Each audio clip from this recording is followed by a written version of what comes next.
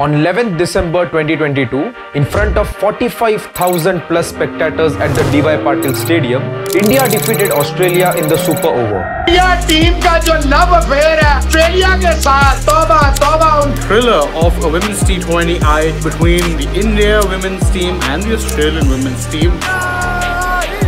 इस team India की खासियत है छोटे से छोटा टोटल डिफेंड करना in a match which will go down in history as one of the all-time classics of women's T20 cricket. Even more significant is the fact that this was Australia's first ever loss across formats in 2022. In the past 5 to 6 years, the Australian juggernaut has annihilated each and every team that they come across. Such has been their record that it won't be wrong to call them one of the best teams of all time in not just cricket across sports. As the T20 World Cup looms large, Australia, five time champions, are favorites. But if there is one team that they are wary of, it is India. Yes, India. Confused or excited? Well, whatever your emotion is, please don't forget to leave a like on this video and share it with your friends. Now, let's see why the Indian team has been a thorn in the side of Australia. For this, we'll have to go back to the 2017 Women's ODI World Cup. In the semi-final, Australia suffered a heartbreaking loss at the hands of India. But this proved to be a catalyst for the Southern Stars as they went on to win 26 successive ODI matches after this, a world record. Finally, on 26th September 2021, this streak was broken. Well, it was none other than India who chased down a mammoth target of 265 to take home the honors. It was not a fluke by any chance. In the previous match itself, India had lost via dropped catches and a no ball at the end. Last year, another Australian unbeaten run was ended by India, as mentioned in the video start.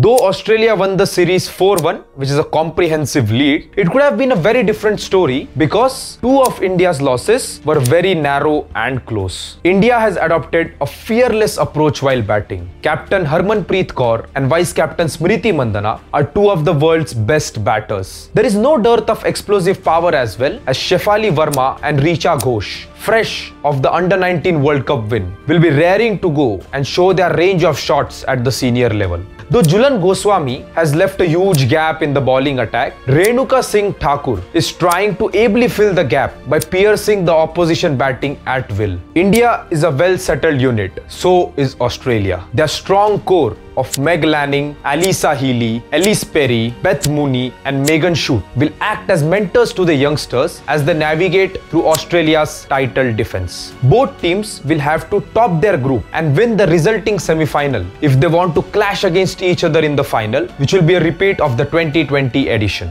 Will Australia prevail this time too? Or will India take a leaf out of their under 19 team's book and finally break the World Cup jinx? Well, some high quality cricketing action awaits us over the next 20 days, and only that will reveal the answer.